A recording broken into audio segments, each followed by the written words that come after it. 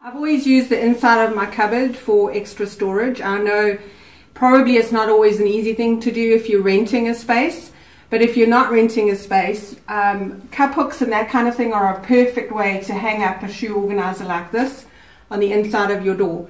Put everything inside there and it's not taking place inside of your cupboard for all the other shoes that you've got to store.